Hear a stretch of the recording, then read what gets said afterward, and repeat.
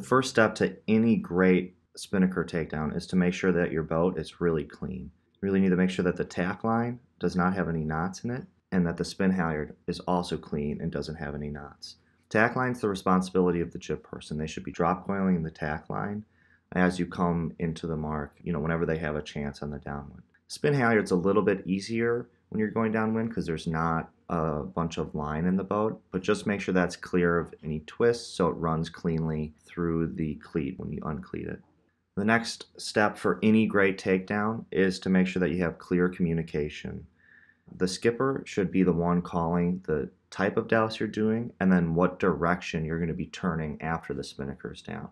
This just gives everyone on the boat a clear idea of what's going to happen when you take your spinnaker down. Then we really like to count down the douse as you come into the mark. Typically it's a count of three. So you go three, two, one, douse. One more douse. Three, Yeah. two, one, douse. Blow it,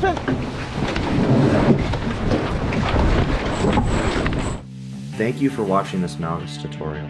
For more information on new boats, new quantum sails, and parts for your Melges boat, please visit melges.com.